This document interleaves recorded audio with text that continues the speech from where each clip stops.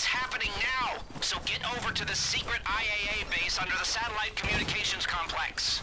I mean, I don't know how I feel about saving the spooks, but, uh, Avon's paying, so let's go to work.